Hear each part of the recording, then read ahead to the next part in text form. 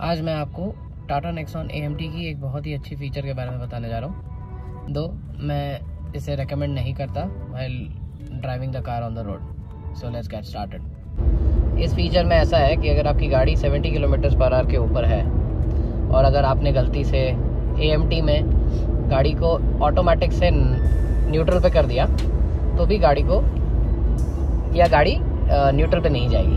मैं आपको एक एग्जांपल दिखाता हूँ। ये मैंने न्यूट्रल पे डाल दिया। ठीक है? आपको सिर्फ़ क्लस्टर में फाइव की जगह पे मतलब जो गियर पे गाड़ी चल रही है, उसके अगेंस्ट ए पे ब्लिंकिंग शुरू हो जाएगी। बस, इतना ही आपको इंडिकेशन मिलेगा। बाकी गाड़ी नॉर्मल चलेगी और नॉर्मल स्पीड पे चलेगी और गियर मेंटेन करेगी। और अगर आपकी गाड़ी 20 किलोमीटर पर आर के नीचे है या थर्टी किलोमीटर्स पर आर से फोर्टी किलोमीटर्स पर आर के बीच में चल रही है।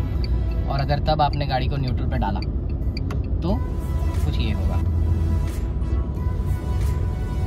गाड़ी न्यूट्रल पर चली जाएगी।